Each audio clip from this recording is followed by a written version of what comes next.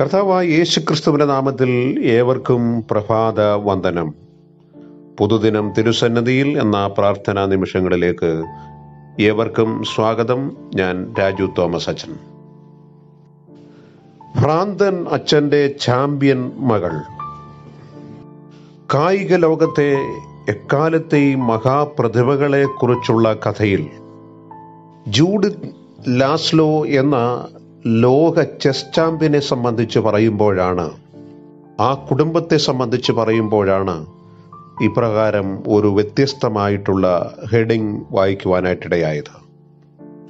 Hungarian മനഃശാസ്ത്രജ്ഞനായ Laszlo Polgar എന്ന മനുഷ്യൻ തന്റെ പ്രതിശ്രുത വധു ക്ലാരയ്ക്ക് ധാരാളം കത്തുകൾ എഴുതുമായിരുന്നു. നമുക്ക് കുഞ്ഞുങ്ങൾ ഉണ്ടാകുമ്പോൾ അവർക്ക് എന്ത് പേരിടും എന്ന ക്ലാരയുടെ സ്വകാര്യ ചോദ്യങ്ങൾക്ക് എന്റെ മക്കളെ ഞാൻ ലോക ചാമ്പ്യന്മാരാക്കും എന്നാണ് എല്ലാ കത്തിലും ലാസ്ലോ ആവർത്തിച്ചത്. തന്റെ പ്രതിസുത വരന് വട്ടാണെന്ന് ക്ലാര തമാശയായി കരുതി. ഒടുവിൽ ക്ലാര ലാസ്ലോയുടെ വട്ടിന് സമ്മതം മൂളുകയാണ്. പിന്നാലെ അവർ വിവാഹിതരായി. അവർക്ക് മൂന്ന് പെൺകുട്ടികൾ പിറന്നു. Susan Sofia Judit. മക്കളെ ലാസ്ലോ വീട്ടിലിരുത്തി പഠിപ്പിക്കുകയാണ്. ഒന്നാം പാഠം ചെസ്സാണ്. പിന്നെ അതിസങ്കീർണമായിട്ടുള്ള ഗണിതക്രിയകളും ജർമ്മൻ റഷ്യൻ ഇംഗ്ലീഷ് ഭാഷകളും കുട്ടികളെ പഠിപ്പിച്ചു. കർക്കശമായിരുന്നു ലാസ്ലോയുടെ അധ്യാപന രീതി.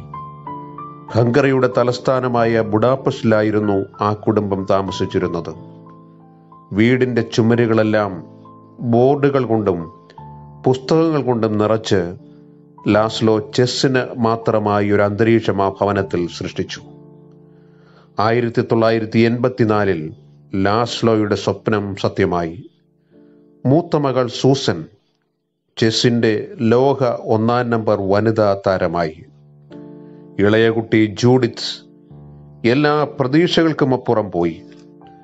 ആയിരത്തി തൊള്ളായിരത്തി തൊണ്ണൂറ്റി ഒന്നിൽ പതിനഞ്ചാം വയസ്സിൽ ജൂഡിത്ത് ലോകത്തെ ഏറ്റവും പ്രായം കുറഞ്ഞ ഗ്രാൻഡ് മാസ്റ്ററായി.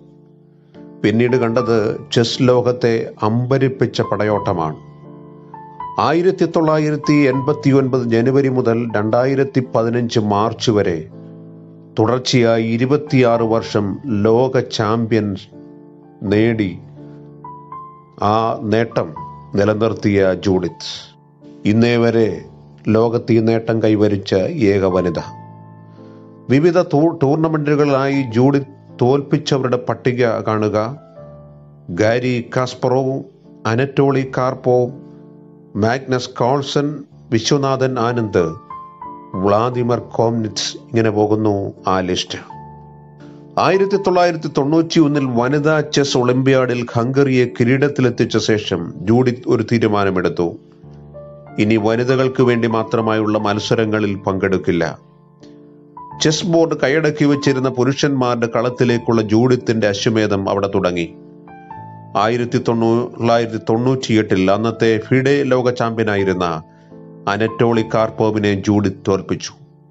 രണ്ടായിരത്തി രണ്ടിൽ ഇതിഹാസ താരം ഗാരി കാസ്പറോഗും ജൂഡിത്തിന് മുന്നിൽ വീണു. മുമ്പൊരിക്കൽ സർക്കസ് പാവ എന്ന് താൻ പരിഹസിച്ച പെൺകുട്ടിയോട് തോറ്റത് കാസ്പറോവിന് സഹിക്കാനായില്ല. മത്സരം കഴിഞ്ഞ ഉടൻ മാധ്യമപ്രവർത്തകർക്ക് മുഖം കൊടുക്കാതെ തല താഴ്ത്തി അദ്ദേഹം വേദി വിട്ടുവെന്നാണ് ചരിത്രം. തന്റെ മക്കളെക്കുറിച്ചുള്ള പദ്ധതിക്ക് ലാസ്ലോ പ്ലോഗർ പോൾഗർ ഇരുപതാം നൂറ്റാണ്ടിലെ ഏറ്റവും മികച്ച മനുഷ്യ പരീക്ഷണം എന്നാണ് അറിയപ്പെടുന്നത്. തന്റെ വിദ്യാഭ്യാസ സിദ്ധാന്തം മക്കളിലൂടെ തെളിയിക്കുക എന്നതായിരുന്നു ഹംഗേറിയൻ മനഃശാസ്ത്രജ്ഞനായ ലാസ്ലോ പോൾഗറിന്റെ ലക്ഷ്യം. മതിയായ ആരോഗ്യമുള്ള ഏതൊരു കുട്ടിയും ചെറുപ്പം മുതൽ ചിട്ടയായ പരിശീലനം കിട്ടിയാൽ ജീനിയസ് ആകാൻ ശേഷിയുള്ളവരാണ് എന്ന ലാസ്ലോയുടെ നിഗമനത്തെ ആദ്യമൊക്കെ ശാസ്ത്രലോകം പരിഹസിച്ചു തള്ളി. പക്ഷേ അത് അദ്ദേഹം യാഥാർത്ഥ്യമാക്കി. എന്റെ മക്കളെ ഞാൻ ലോക ചാമ്പ്യന്മാരാക്കും. അതെ അന്ന് തന്റെ പ്രതിസുത വരു വധു ക്ലാരയോട് പറഞ്ഞ വാക്കുകളും അത് തന്നെയാണ്.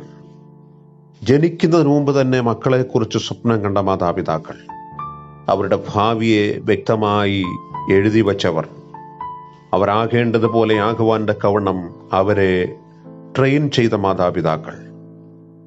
അച്ചടക്കമുള്ള ഒരു കുടുംബത്തിന്റെ സുന്ദരമായ ഒരു കഥയാണിത്. ഈ കുടുംബത്തിന്റെ കഥ വരുവാനിരിക്കുന്ന തലമുറകൾക്ക് പ്രയോ പ്രചോദനമാകട്ടെ എന്ന് ഞാൻ പ്രാർത്ഥിക്കുകയാണ്. ബാലൻ നടക്കേണ്ടുന്ന വഴിയിൽ അവനെ അഭ്യസിപ്പിക്കുക നിർത്ത അവൻ അത് വിട്ടുമാറുകയില്ല കുഞ്ഞുങ്ങൾ നടക്കേണ്ട വഴികളിൽ നമുക്കവരെ അഭ്യസിപ്പിക്കാം. ഈ വചനങ്ങളാൽ ദൈവം നമ്മെ അനുഗ്രഹിക്കട്ടെ. ആമേൻ ആമേൻ.